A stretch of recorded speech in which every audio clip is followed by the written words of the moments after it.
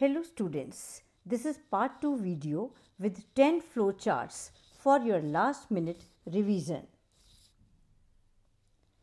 Number 1 flowchart is from chapter Molecular Basis of Inheritance. It is about steps involved in DNA replication.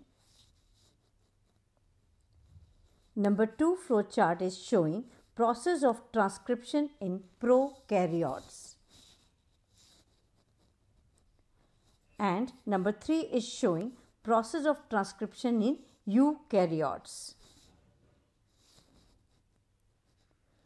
Flowchart number 4 is from chapter Principles of Inheritance and Variations.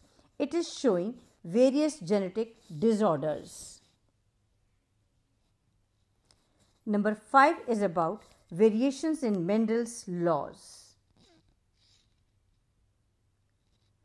Number 6 is showing sex determination in different organisms. Number 7 is from chapter number 4 reproductive health. This is about various assisted reproductive technologies.